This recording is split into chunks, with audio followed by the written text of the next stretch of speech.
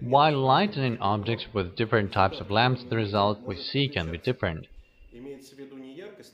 We mean the different color rendering, how the object or the picture will look under the light of this or that lamp, but not brightness of a lamp. Sometimes colors will look more precise and natural, but sometimes they will differ from those in daylight conditions. Let us remember what occurs when it's a lamp with red light filter. Light spectrum of lamps is not regular and color rendering depends on lamp energy in this or that part of spectrum. Character of color rendering describes us to what extent surrounding objects look natural under light of this lamp. To define quantity, we use a color rendering index. It's a relative quantity from 0 to 100, describing how much color under light of the tested lamp corresponds to natural color of the object. 100 means full correspondence as under sunlight. That is, while lightening by such a tested light source colors are extremely true, incandescent lamps are close to such results.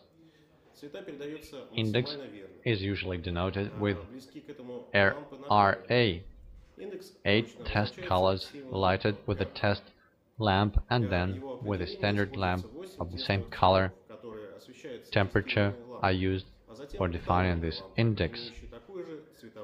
The less difference between test colors in rendering the better color rendering of a tested lamp that, depending on index rate, is characterized as a lamp with low, sufficient, good or very good color rendering. There exist systems that mathematically compares changes in color spectrum for the same colors lighted with a standard light source.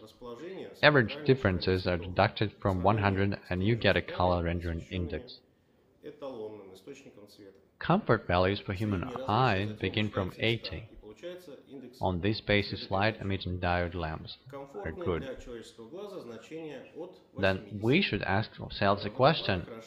What is this index for? For classifications of light sources. It is used for understanding of designation of different lamps.